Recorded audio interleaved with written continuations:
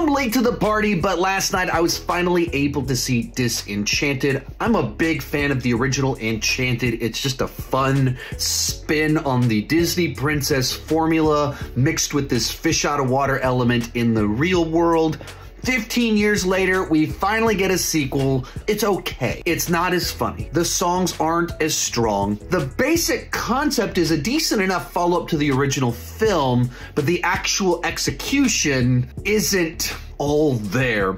And the idea of following up Enchanted isn't nearly as fresh, fun, and original as Enchanted. There's also just some odd choices in the way that it's structured, that everyone's kind of in the magic spell mode throughout the story, so they're not really growing and changing. There's too many villains, there's too many plot points, so the movie goes on too long. Like, I didn't hate it, I didn't dislike it. There are some elements that kind of were enjoyable that I liked, but overall, underwhelming.